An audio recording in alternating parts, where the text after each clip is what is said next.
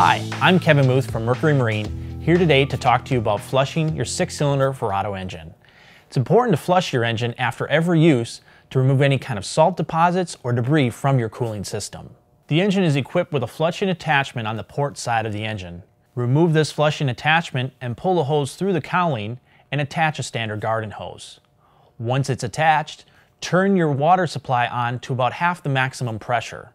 Let the water flow through the engine for about 15 minutes. Once you finish flushing your engine, turn off your water supply and disconnect your garden hose.